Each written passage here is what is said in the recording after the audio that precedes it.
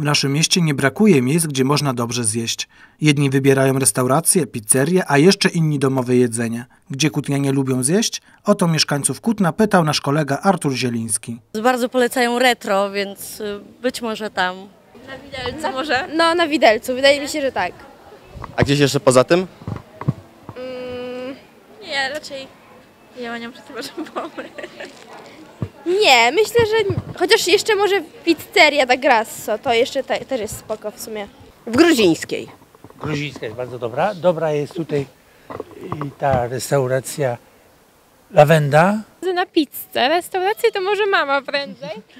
No ja też raczej nie korzystam często z, takie, z takich okazji. Ale jak już się zdarza, to jakie to jest miejsce? Jak się zdarza, to idę na przykład do pizzerii na Widelcu. Tak samo, no. Pizzeria Jaśniepańska na Widelcu. Tak, to najczęściej.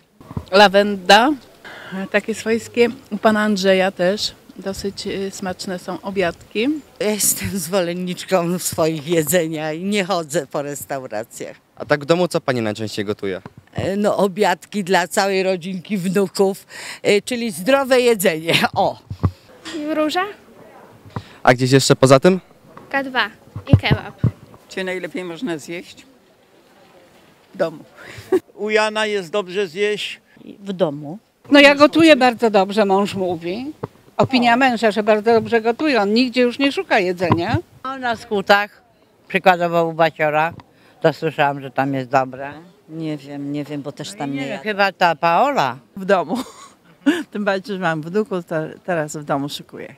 Ale w ciągu roku nie ma takiego miejsca, gdzie się czasami wychodzi ze znajomymi? Sami wychodzę albo do, do Jany najczęściej, albo do Basiora.